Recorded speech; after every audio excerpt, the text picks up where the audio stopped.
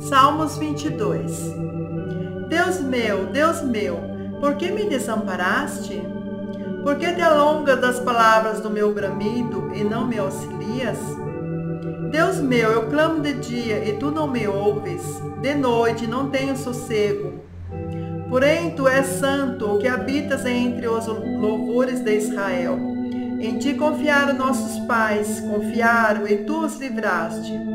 A ti clamaram, escaparam, em ti confiaram. E não foram confundidos.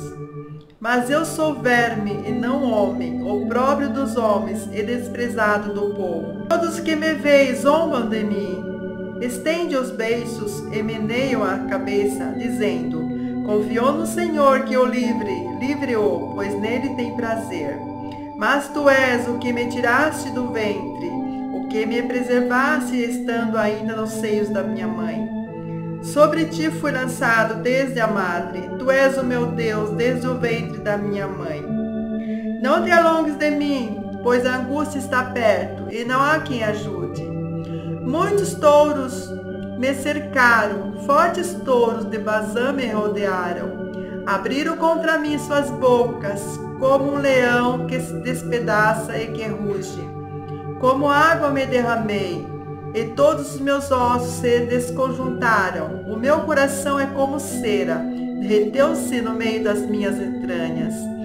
A minha força se secou como um caco, e a língua que me pega no paladar, e me puseste no pó da morte.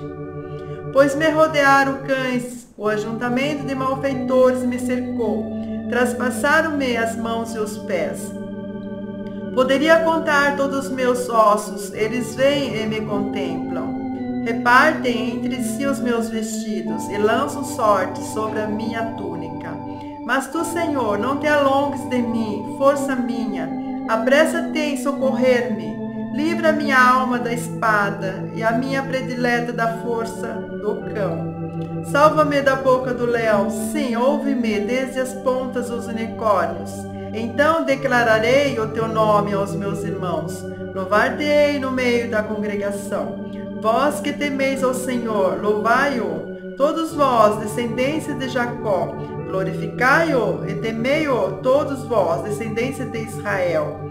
Porque não desprezou nem abominou a aflição do aflito, nem escondeu dele o seu rosto, antes, quando ele clamou, ouviu.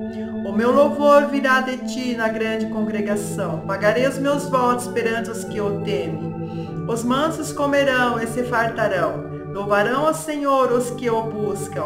O vosso coração viverá eternamente. Todos os limites da terra se lembrarão e se converterão ao Senhor, e todas as gerações das nações adorarão perante a tua face, porque o reino é do Senhor, e ele domina entre as nações.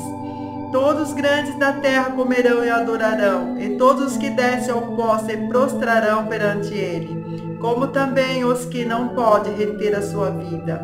Uma semente os servirá, falarás do Senhor de geração em geração. Chegarão e anunciarão a sua justiça ao povo que nascer, porquanto ele o fez.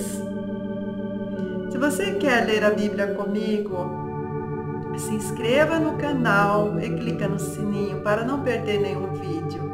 Fiquem com Deus.